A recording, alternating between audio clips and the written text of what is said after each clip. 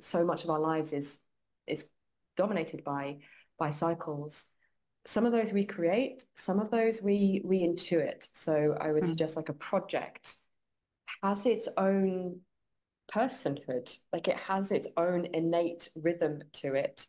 And so cyclical living is how am I paying attention to what those cycles are and how might I be a little bit more in alignment with with that. So rather than trying to be somewhere that I'm not or paddling upstream, um, cyclical living is I guess a, a really deep moving towards reality as it is, like accepting that this is where things are, and now how do I want to show up, given that this is is where I am in a in a cycle. Um, so for me, it's been I love it because it's a framework. It's like a blueprint. There's a, there's enough structure to it that the part of me that really loves to know what's going on can relax and be like okay right there, there's a map there's like clear things happening great. And then it's also deeply intuitive because it requires me to really pay attention to my body. It's not a, a sense of you know this is the right way to be at any given point. Mm.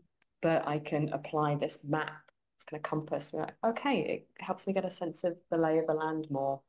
And then has given me real permission to be more of me so I can really lean into like the summer version of me, like ovulating Vix, when I'm like, I'm superwoman, I can do anything, and I want to, I'm going to create this, and I'm going to do that, and nobody can stop me.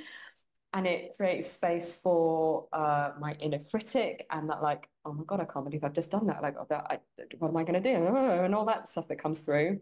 And then there's also space for me to chuck it all in for a while and stop and be like, oh, okay, I'm going to allow myself to rest and all of those versions of me get to be here.